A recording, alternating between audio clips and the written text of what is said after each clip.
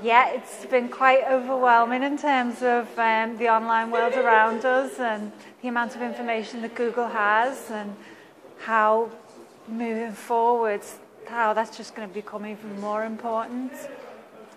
A bit startled by a few of the um, American trends going on, the health kind of thing, but um, very interesting, really enjoying it so far.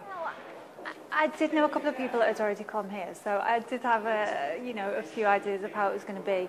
But I had to flick through the agenda, so I was very open-minded, and um, I wasn't sure whether we might be doing some kind of um, superhero dance or some kind of um, is that to come possibly? uh, but yeah, open-minded.